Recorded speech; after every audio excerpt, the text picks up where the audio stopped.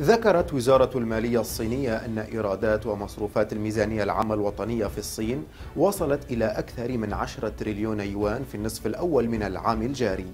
وأظهرت نتائج البيانات الصادرة عن الوزارة يوم الثلاثاء السادس عشر من يوليو الجاري أن الإيرادات بلغت 11 تريليون يوان بزيادة 3.4% على أساس سنوي.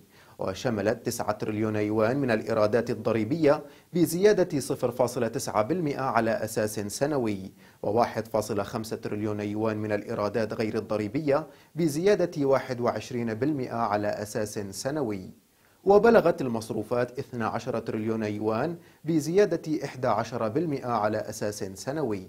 ووصف ليو جين يون مدير مركز المدفوعات للخزانة الوطنية بوزارة المالية الصينية أن الإيرادات والمصروفات المالية في النصف الأول من العام الجاري مستقرة بشكل عام وفيما يتعلق بنمو الإيرادات غير الضريبية عزى ليو ذلك إلى زيادة الإيرادات غير الضريبية بنسبة 62% إلى دخل عمليات رأس المال الحكومي حيث زادت المؤسسات المالية الحكومية والشركات الحكومية أرباحها التي تم تسليمها إلى المالية المركزية.